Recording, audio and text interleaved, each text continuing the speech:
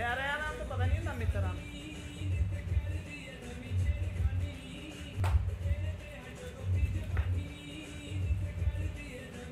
ਉੱਠ ਕੇ ਜ਼ਰਾ। ਗਾਂ ਡਿਲੀਟ ਕਰ ਦਾਂਗੇ। ਇਹ ਸੌਣ ਸੁਣ ਚੁੱਕਿਆ ਵਾਕਈ ਆ। ਡਿਲੀਟ ਕਰ ਦਾਂਗੇ ਉੱਠ। ਤੇਰੇ ਮਾ ਵੀਡੀਓ ਮਾ ਮੁੰਡਿਆਂ ਦੀ ਨਾਈ ਨੇ।